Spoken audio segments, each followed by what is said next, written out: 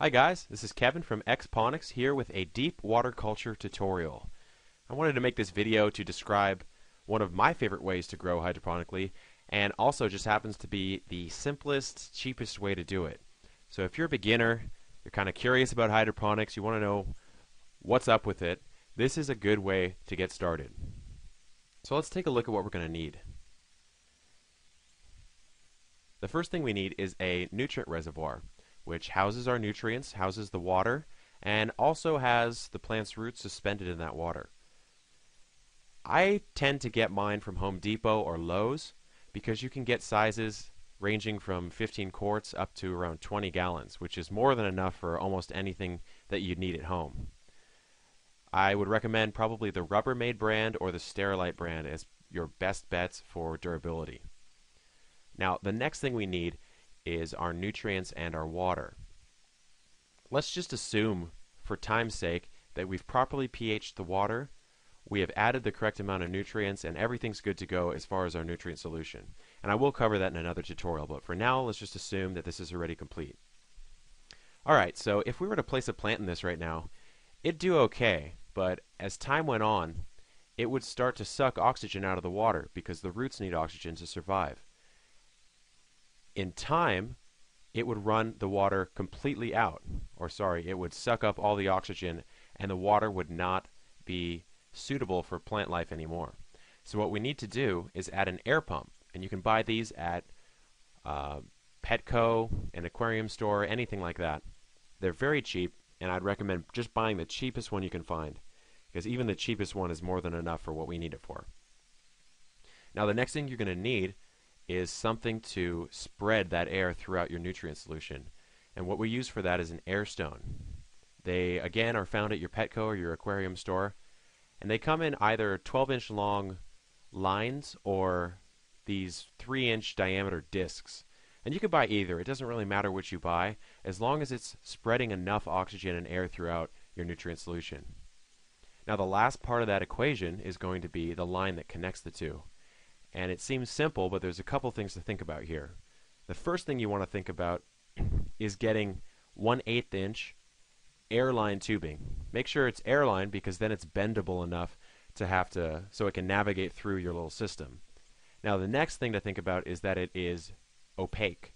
It needs to be opaque because if a light is hitting a clear tube, you're going to get some algae growth in there, and it's just really going to be a hassle to clean out and just avoid it altogether by getting an opaque tube.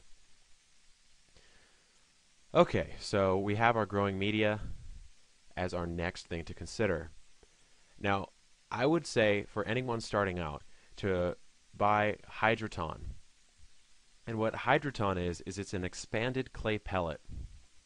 It's kind of brown and it has some black specks on it.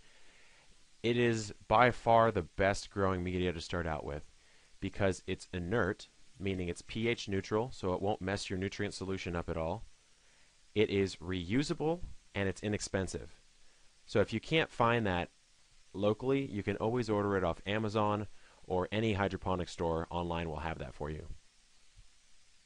The next thing you have to think about is what you're putting your hydroton into. And for that I recommend something called net pots. Net pots basically look like a cup that has excuse me a bunch of holes kind of cut into it. It creates a mesh. And what that mesh allows your plant to do is have a strong and robust root system. If you were to have a normal cup with just some holes drilled in the bottom, there'd only be one direction for your plant's roots to grow. But with net pots, you can actually have roots spreading out from all different areas of your net pot, which is really great and it promotes a vigorous root system. So now that we have our entire system built, we have our growing media selected, the next thing we need to think about is how to get our plants in this system. So for that, we'll take a top-down look at this system. These two black holes that you're seeing are drilled in or cut in to the surface of your tote. I tend to use a hole saw for this, but you can just cut it out with scissors if you don't feel like buying that bit because it is kind of expensive. The next thing you're going to have to do is drop the hydroton into the net pots, put your little seedling in as well, and then plop that into your system. And when it's all said and done, it looks something like this. Now, this is the beauty of deep water culture. All you have to do is grab a couple ingredients from Home Depot's and Petco, and you can have this system that produces really healthy, really vibrant plants for a long, long time, and it doesn't really even take too much effort. The only thing you need to worry about is changing the water every month or so, and in the meantime, making sure that the water level stays constant. So you just have some mixed nutrients waiting, and as you see it drop, the best thing to do is just pour a little bit extra in, and you're good to go. So that's the basics of deep water culture. If you want a cost breakdown, I've put a rough one here, and you know this is going to change depending on what kind of materials you decide to use. If you want to use party cups and cut some slits in them, you can substitute that out for net pots. If you want to use a different grow medium, you might save some money, and you might already have a reservoir at your house. But that's the basics of deep water culture. If you have any questions, leave them in the comments. And in the video description, I've also linked to a more in-depth tutorial on how to build your very own hydroponic herb garden. So check that out if you want to. And also, subscribe and like the video if you liked it. And if you didn't, leave a comment and maybe I can help you out. This is Kevin from Xponics. Goodbye.